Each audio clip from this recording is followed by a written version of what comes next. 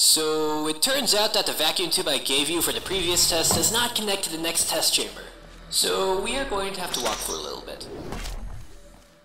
This test chamber was for another test, which we are not assigned to. It was supposed to be solved with a portal gun.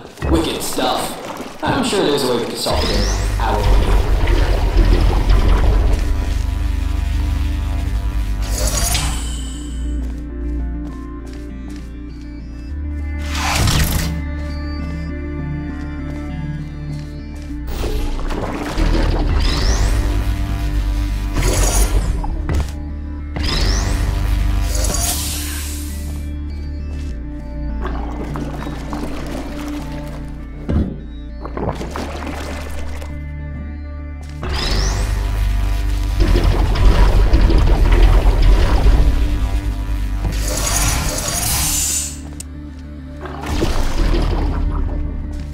Nicely done! I couldn't have done it better myself. Now, we have to find a vacuum delivery system to get you to the next test chamber.